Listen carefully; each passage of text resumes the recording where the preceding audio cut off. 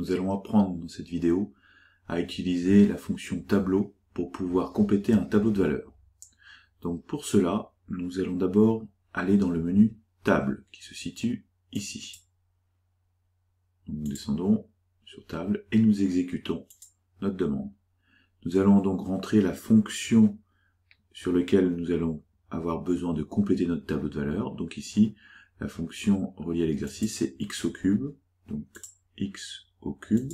Attention, il faut déplacer ici pour pouvoir continuer à écrire l'expression x au carré moins 4x moins 4. Et on exécute pour que ce soit enregistré. Vous avez ici donc le tableau qui apparaît. Pour accéder à cette fonction tableau, vous allez directement cliquer sur F6. Donc vous obtenez votre tableau.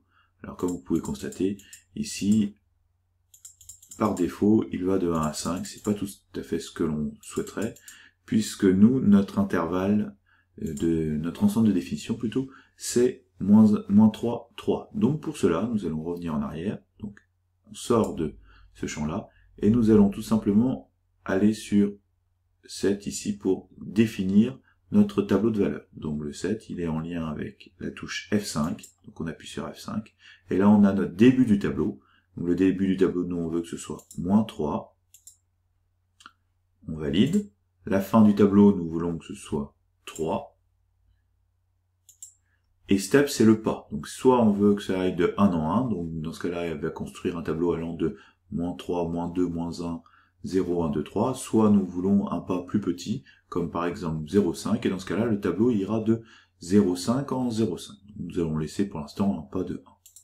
Voilà, nous validons, et nous nous retrouvons dans la fenêtre qui nous permet de sélectionner de nouveau table en F6. Et cette fois-ci, votre tableau de valeurs est fait. Alors, il est mis de manière verticale. Donc ici, ce sont les antécédents, les x, et ici les images, f de x. Donc il va bien de moins 3 jusqu'à 3.